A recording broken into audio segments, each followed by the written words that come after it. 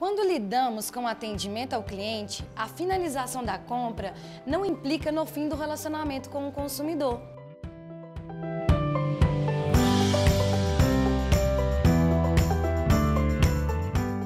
Esse pensamento deve fazer parte de todo empreendedor que deseja fidelizar os seus clientes e atingir grandes resultados de vendas. É por isso que o pós-venda representa uma etapa indispensável nesse processo de fidelização. Antes de te ensinar a estruturar uma estratégia de pós-venda, eu quero te explicar o que ela significa de fato. Pós-venda é um conjunto de atividades realizadas após a venda de um produto ou serviço e tem como objetivo encantar e fidelizar um cliente. Dito isso, o que você pode fazer para alcançar a satisfação dos seus clientes? Se liga nessas dicas que eu vou te passar. Tenha uma equipe de suporte de primeira. Essa é a dica mais importante desse vídeo. Tudo começa no atendimento, pois ele é o primeiro contato do cliente com a sua empresa.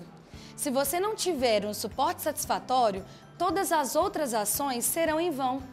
Realize pesquisas de satisfação. Através de pesquisas, você consegue obter muitas informações importantes como a qualidade do seu atendimento, do seu produto e os pontos positivos e negativos do processo de compra. Entre em contato em datas especiais.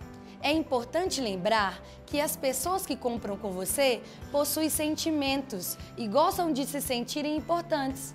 Por isso, em datas comemorativas, dê brindes e descontos aos seus compradores. Ofereça exclusividades. As pessoas amam se sentirem exclusivas. Descontos personalizados e boas ofertas geram esse sentimento.